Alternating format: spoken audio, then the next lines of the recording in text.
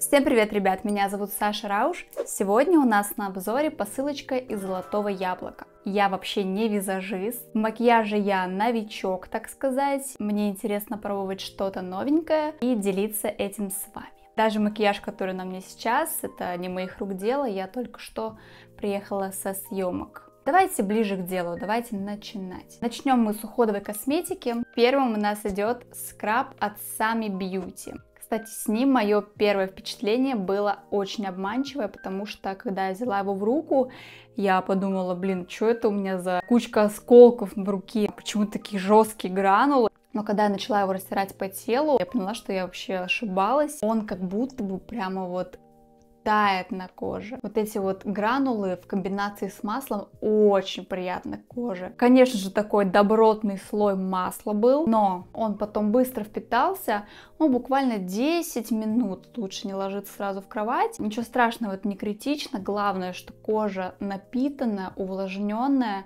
Мне прям очень понравился. Запах прям, вот мой парень даже отметил, что открывается дверь, просто сногсшибательный аромат очень вкусно пахнет, 10 из 10. Далее из ухода у нас шампунь. Заявлено, что он борется с перхотью. Честно признаться, я борюсь с этой проблемой уже достаточно долго, и мой парикмахер посоветовал мне попробовать этот шампунь. Я успел попользоваться им только один раз, не помогло. Может быть, он имеет какой-то накопительный эффект, я не знаю, но с первого применения ничего не произошло. Но он очень вкусно пахнет, он круто очищает кожу головы. Мне понравилось качество волос после него. Посмотрим, я ни в коем случае не буду его забрасывать, я буду пробовать. Если не будет помогать с перхотью, купим что-нибудь другое против перхоти, но его я оставлю. Он мне, в принципе, понравился, если, конечно, бы он не заявлял, что он против этой проблемы, то окей, была бы 10 из 10, твердо такая вот оценочка, но нет. Далее тоже, что я заказала для волосиков, это расчесочка.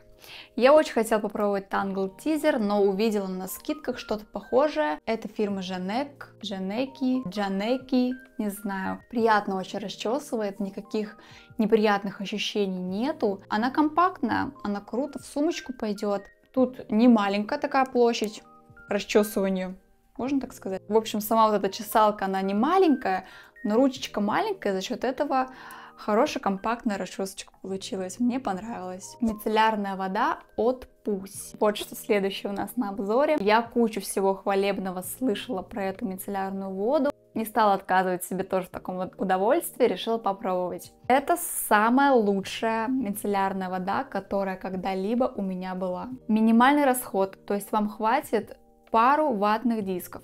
Ну, конечно, вот на такой макияж, который у меня сейчас, тут 4-5, достаточно такой плотненький у меня сегодня мейк.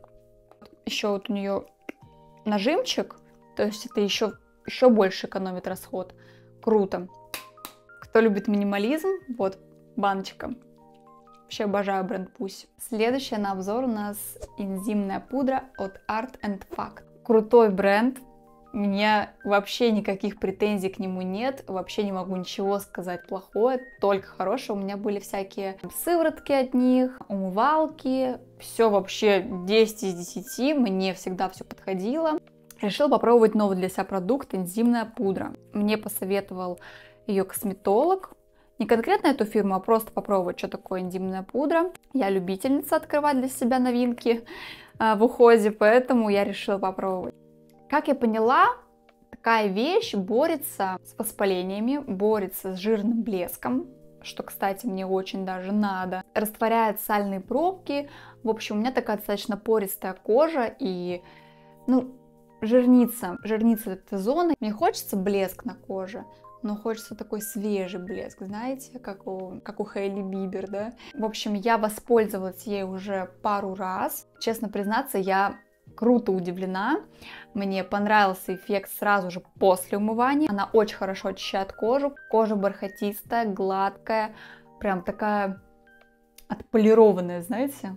Вообще классный эффект. Вот эффект на лицо. И я ставлю этому продукту 10 из 10. Реально очень круто. Попробуйте, если вы тоже сталкиваетесь с подобными проблемами. Теперь с уходом все. Давайте переходить к декоративной косметике. Решила я протестить достаточно шумный бренд, который называется Мина или Зина или Трина, как хотите, я не знаю. Первый лот это палеточка теней. Я выбирала по оттенкам. Я как будто бы уверена, что я всеми ими буду пользоваться. Они все прям мои. Палетка для тех, кто любит нюдовые макияжи. Очень классный сатиновый блеск, крутые матовые оттенки. Палетка на каждый день. Ничего плохого про нее не могу сказать. Компактная, удобная палетка. Тоже тени, только жидкие, от бренда Rad. Это вообще мой must-have. Я беру уже второй такой тюбичек. По-моему, у меня был немножко в другом оттенке, но они все приблизительно одинаковые, там три вида. Этот, наверное, более розовый. Мне никогда так много не делали комплиментов по поводу моего макияжа, кроме как тогда, когда я его наносила. Блин, я так сложно говорю, наверное. Короче, частенько спрашивают у меня, что у меня на глазах. Я им с гордостью отвечаю, что это прекрасные тени от фирмы Рад, которые можно купить, наверное, только в Золотом Яблоке. Не знаю, поищите, но если возьмете, то вы точно не прогадаете. Крутые тени. А, что-то я так пошла по глазам, да, и забыла показать еще один продукт от Зины, Трины Мины. Блин, вроде как Мина по-правильному. Это у нас хайлайтер в стике. Очень прикольная упаковка. Мне очень нравятся такие вот форматы матовые. Да, конечно, они потом заляпываются немножко быстрее, чем обычные флакончики. Ничего страшного, зато эстетик. Первым делом я обратила внимание на одушку. Очень, очень приятная, э, нежная, пудровая, пудровый аромат.